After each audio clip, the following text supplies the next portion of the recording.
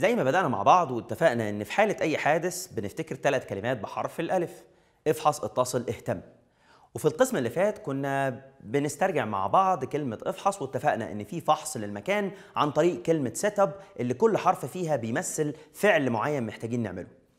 في القسم ده هنتكلم مع بعض عن فحص المصاب. وفي الحقيقة إن إحنا في أوقات الطوارئ والحوادث لو ما عندناش خطة واضحة نفحص المصاب إزاي؟ بتلاقينا بنتصرف بشكل عشوائي وشكل مش منظم على الإطلاق. عشان كده مهم جدا نرتب أفكارنا. وأول حاجة نهتم إن إحنا نفحصها ونتأكد منها ونشوفها في المصاب بتاعنا هي درجة الوعي. في الحقيقة درجة الوعي ليها تقييمات كتيرة وأساليب كتيرة للقياس وتدريجات كتيرة لكن أسهل وأبسط الطرق اللي معتمدة في حالات الإسعافات الأولية إن إحنا نقيم بالتقييم اللي بنسميه AVPU هم عبارة عن أربع حروف كل حرف منهم بيختصر كلمة أو بيختصر حالة أو درجة من درجات الوعي. وكأننا بنقول إن المصاب بتاعنا هنديه درجة من أربعة. إما نديله درجة A و A جاية من كلمة alert يعني يقظ. شخص بيستجيب بيتكلم ارفع إيدك هيرفعها نزل إيدك اضغط على المكان ده بيستجيب. فهو ده شخص واعي فما عنديش معاه مشكلة. هيستجيب للأوامر اللي أنا بقولها له ويجاوب على الأسئلة اللي بسألها له. أمال الحرف الثاني اللي هو V حرف الفي جاي من كلمة verbal stimulus. Verbal stimulus مقصود بيه تنبيه لفظي. يعني أنا هنبه الشخص ده بالكلام. يا فلان يا أستاذة يا آنسة يا حج يا فندم أو أنده باسمه فيبدأ يتنبه معايا وما كانش متنبه. يعني هو تنبه فقط عند التنبيه اللفظي. ده يعني إن درجة الوعي بتاعته أسوأ شوية من الشخص الطبيعي لكنه لازال واعي وبيستجيب.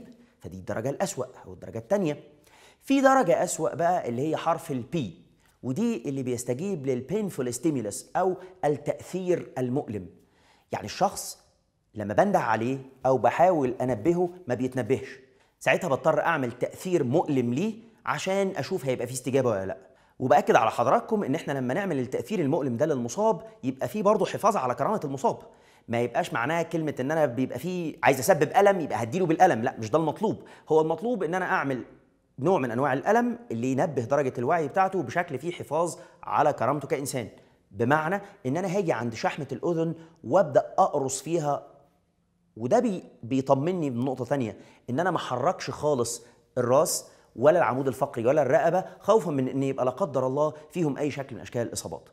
في الغالب لو الشخص ده استجاب للألم هتلاقيه بيحاول يزق إيديك هتلاقيه بيتوجع بيصدر أي صوت. وساعتها هنصنفه من الدرجة الثالثة ده معناه إنه فاقد الوعي لكنه بيستجيب للألم. آخر درجة من درجات الوعي أو آخر درجة بنشوفها وهي الأسوأ على الإطلاق إنه لا يستجيب اللي هي حرف اليو unresponsiveness.